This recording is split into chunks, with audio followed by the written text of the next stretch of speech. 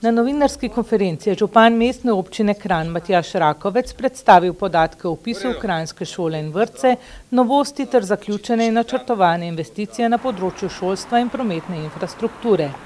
Dogodek je potekal na osnovni šoli Staneta Žagarja, kjer intenzivno potekajo dela za gradnjo prizidka, v katerem bo čez predvidoma leto dni že potekal pouk.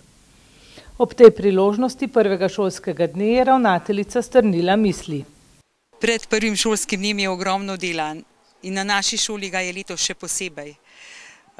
Pripravljamo se zato, ker so ukrepi sami, poleg tega pa imamo pomankanje učilnic in smo še dve dodatni učilnici pridobili na nekdanji trgovski šoli.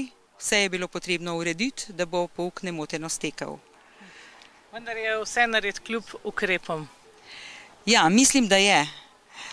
Tudi današnji dan se ne bo končal ob petnajstih, mogoče se bo ob devetnajstih, ampak pripravljeno bo vse tako, kot mora biti. Letos bo osnovno šolo Staneta Žagarja skupno obiskovalo petsto enajst učencev, od tega šestinšestdeset prvošolcev, katere so danes slovesno sprejeli.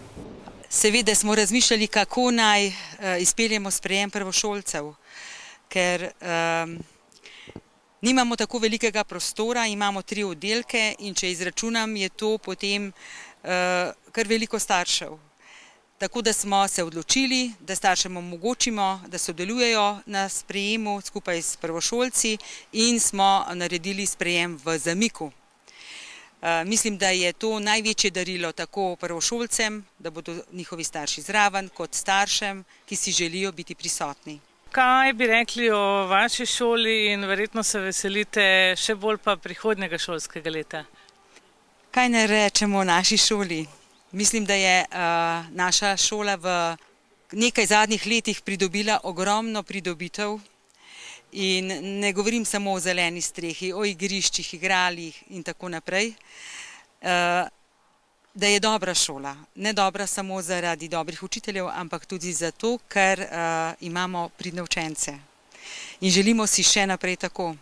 Moram pa povedati, da si že danes, čeprav vem, da bo šolsko leto zelo naporno, zaradi hrupa tik ob učilnicah, zaradi vseh dejavnosti, ker imamo levo in desno gradbišče, zaradi pomanjkanja športnih prostorov, ker bomo hodili v športno dvorano. Želimo si prvega septembra v naslednjem šolskem letu, da bomo lahko v novih prostorih.